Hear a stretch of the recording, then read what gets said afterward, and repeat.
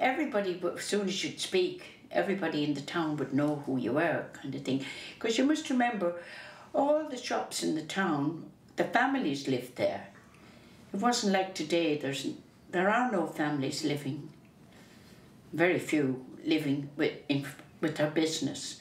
But in those days, every business house in the town, the family was resident with their business. So um, it was a totally different concept in, with uh, what town life was like and what life was like for us. A little friction between the townies, as we call them, and the country people, all right, but uh, good friends, and good friends in the town as well.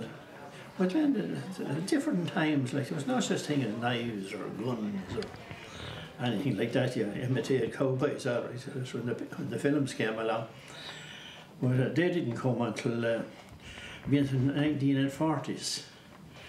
Uh, travelling film company came and set up in Edbury in Baltinglass and we used to go in on a Sunday evening or Sunday night to the films and the cowboys, Gene Autry and Hopalong Cassidy, etc. like you know. So we, that was that, that was the only invitation we had as far as guns was concerned. My father always had a gun for shooting rabbits and crows in the car or anything like that, but otherwise, otherwise none, none, of these murders or anything else. You could leave your door open. We had, uh, many farmers had half doors.